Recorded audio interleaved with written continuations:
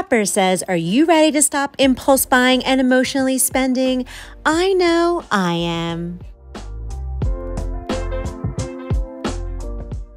Hello, everybody. On this episode, we're going to be talking how to stop impulse buying and emotionally spending.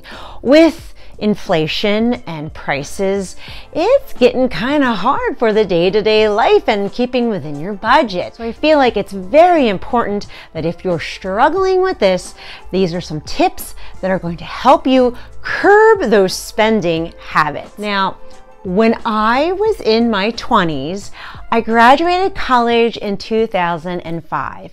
But through those years, the first half of the 2000s, I had a full blown shopping addiction. Now, I was already hoarding, I already had those tendencies since a child.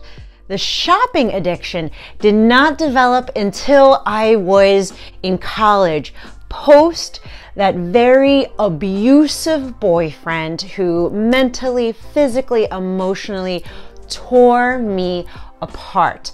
So the shopping was after I had gotten away from him, and it was a newer coping mechanism to deal with the trauma that I had with him because I never emotionally processed it, I just internalized it. Nobody knew how badly I was being abused when I was 17 and 18. I was fully into this material girl world because I was trying to prove to everybody else my self worth and how beautiful I really was.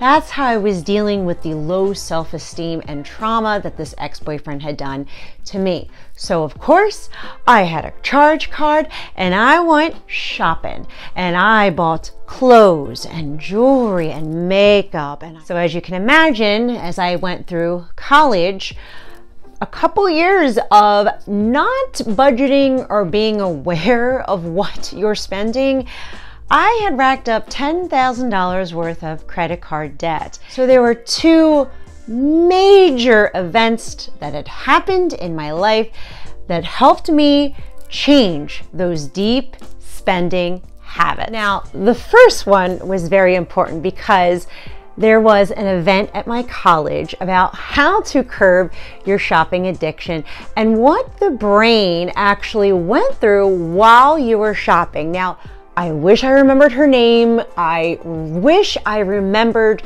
the resources that she used when she hosted this. But let me tell you how much it really shifted my mindset. She had said that when you are at the store and you find something that you absolutely love, the dopamine chemical peaks in your brain in the anticipation of buying it. The moment you see it, go towards it and hold it. That dopamine chemical has already peaked. The shopper's high has already happened in that moment. Once you hold it, start continuing shopping or going to the register, your dopamine levels are already dropping. But you think if I buy this item, that peak of happiness and joy and escapism and just pure happiness, you think it's going to sustain for a long period of time because you're buying this item. The truth is, it's already on its way out. It's already gone. Even by the time you purchase it at the register, the levels are already more than halfway dropped. And by the time you come home, the shopper's high is completely gone, and that is when buyer's remorse sets in. And the speaker went on to say that if you just window shop, get that shopper's high, but not buy it at all, you're still raising those levels of your dopamine and it's feeling like a reward without going into deep debt. So when I had heard her talk about this, I thought, you know, this is actually very empowering now that I understand how my brain works because the buyer's remorse and almost depression was really set in after I realized that I had racked up $10,000 worth of credit card debt, which was a lot of money in 2004. And I wanted to test it out. So I had gone to the mall and I went into my favorite, favorite stores. I picked up certain things that I loved and that I really wanted to buy so badly. But I actually did put it back. I had enough self control to put it back. I told myself that if I really want this bad enough, I'll just come back tomorrow and buy it.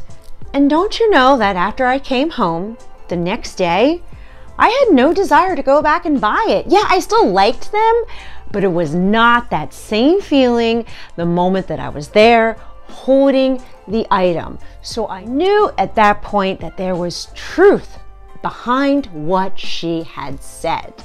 Because for me, this was a full on addiction, and I knew it took a lot of energy for me to put those items back. I couldn't just window shop at first. I really had to stay out of my trigger stores because it was an addiction, and I just really had to enjoy the things that I had. And even with online shopping, you can do the same process, whether you add it to your wish list, because I probably have 10,000 things on my Amazon wish list now.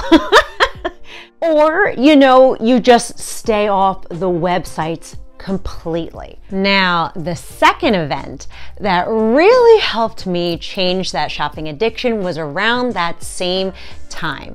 For my birthday, my best friend Jen had given me this wonderful basket of stuff, and it had this book on how to improve yourself in all areas. And in the finance section of that book, it had talked about lowering debt, being debt free, and saving money. And it suggested that you should do once a week one no spend day when you spend absolutely positively no money. And it wasn't even for food or gas. Nothing came out of that bank account. And I was happy to say that I was very successful in that one no spend day during the week. Month number two came and I pretty much had it down, planning to not spend any money for one day a week. I added two days a week.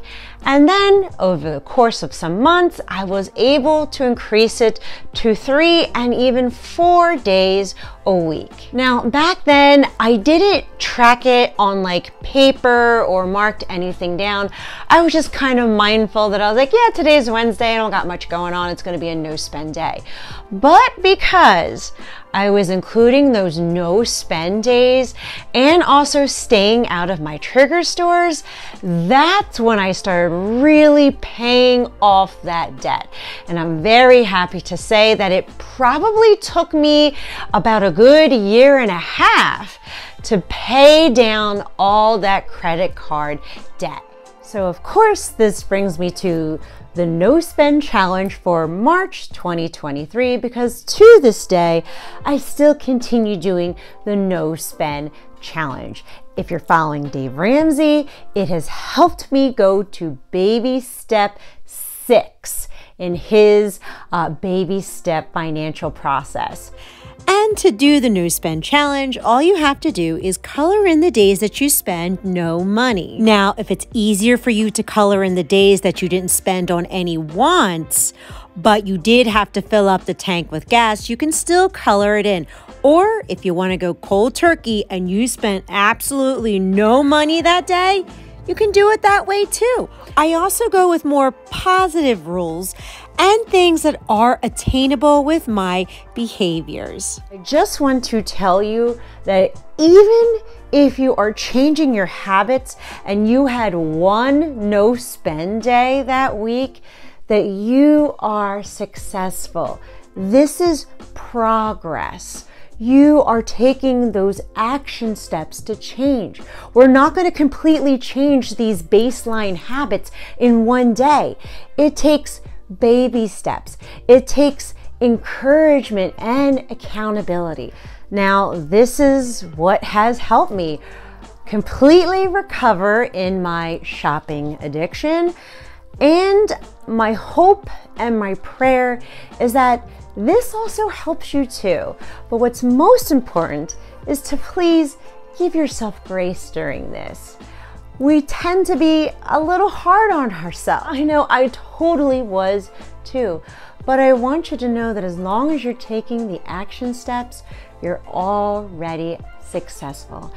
And my hope, and my prayer, is that this video motivated and encouraged you to help heal and soothe and recover from your shopping addiction or spending habits too.